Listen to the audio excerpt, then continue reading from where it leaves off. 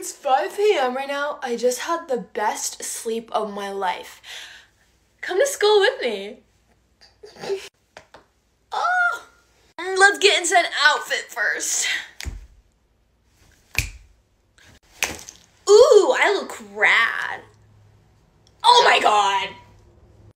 I'm so sorry I just said that. Perfume.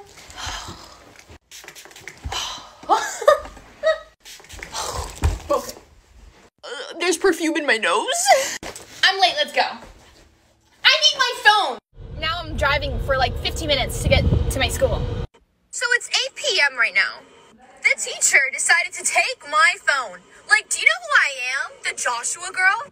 Also, my crush wasn't in class. I sprayed perfume for you. Let's just get Starbucks to calm me down. Starbucks is closed.